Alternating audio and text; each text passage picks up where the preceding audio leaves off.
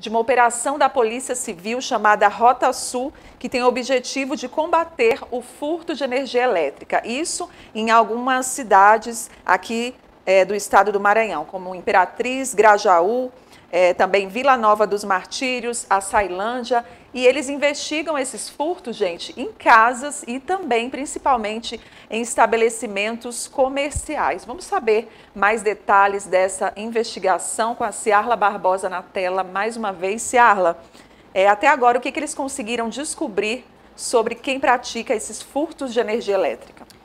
Olha só, essa ação da Polícia Civil foi deflagrada essa semana aqui em cinco cidades do interior, no caso do estado do Maranhão.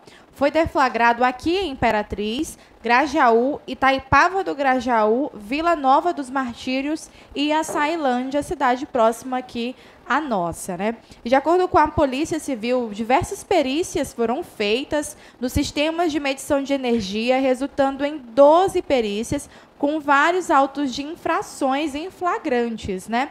Os suspeitos de cometerem as irregularidades foram presos e ao todo foram feitas 14 ações destas, 14 ações e destas oito foram pegas em flagrante. As pessoas que foram pegas em flagrantes foram conduzidas, né, à delegacia. E esse caso, ele aconteceu, essas investigações, elas ocorreram em casas, residências no caso, e também ocorreram em estabelecimentos comerciais.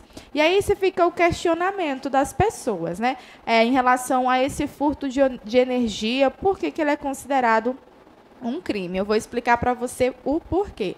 É porque, pessoal, de acordo com o artigo 155 do Código Penal, ligações clandestinas são consideradas furto com pena de até cinco anos de reclusão e multa. Já a adulteração do medidor é estelionato, crime previsto também no Código, no artigo 171. Essas são informações do Código Penal. Então, sim, pessoal, furtar energia, o famoso gato de energia, é um crime previsto em lei.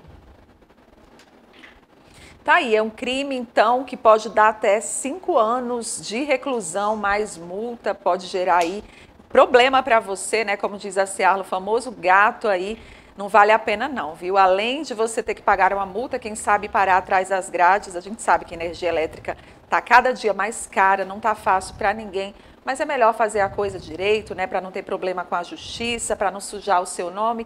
De repente aí, né, você que é um cidadão de bem, está passando por um problema, tenta aí fazer uma redução no consumo da sua energia, de repente desligando alguns aparelhos, né? Tem alguns sites que e também economistas que ensinam formas é, de você economizar quando não estiver usando algum aparelho, tirar da tomada, né? E reduzir o tempo de repente no chuveiro elétrico, entre outras coisas aí para reduzir o seu consumo e ajudar para você não ter que recorrer a esse tipo de infração que pode custar caro para você, viu?